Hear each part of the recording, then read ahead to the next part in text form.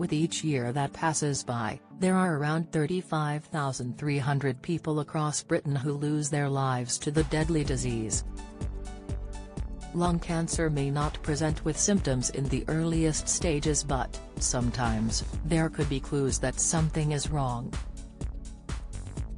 Considered one of the most common symptoms of lung cancer, according to Cancer Research UK, a cough most of the time should be investigated by a medical professional.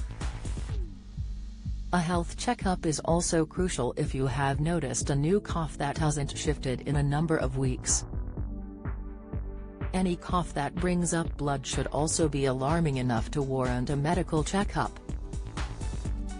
Another possible indication of lung cancer is when you get out of breath doing activities that once were no problem to do. As a tumor takes up space in the lung, its capacity to work well is reduced.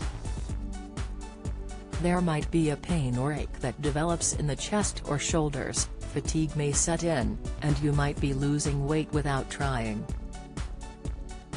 cancer can also make you lose your appetite and you could suffer from recurrent chest infections. While these symptoms could be indicative of other underlying health conditions, it's advisable to get them checked out by a health professional. As with any type of cancer, should that be the cause of your symptoms, the sooner it's picked up, the better the outlook is likely to be. Clinical oncologist Neil Bayman, at Macmillan Cancer Support, revealed there are two main types of primary lung cancer non-small cell lung cancer, NSCLC small cell lung cancer, SCLC. When going to your GP with symptoms, the next step is to have a chest X-ray or CT scan if lung cancer is suspected. If these tests show anything abnormal, a referral will be made to see a specialist within a fortnight.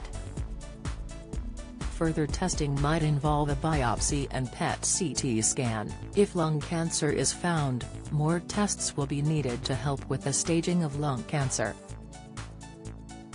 Treatment for lung cancer may include surgery, radiotherapy, chemotherapy, targeted therapy, immunotherapy drugs or a combination of these.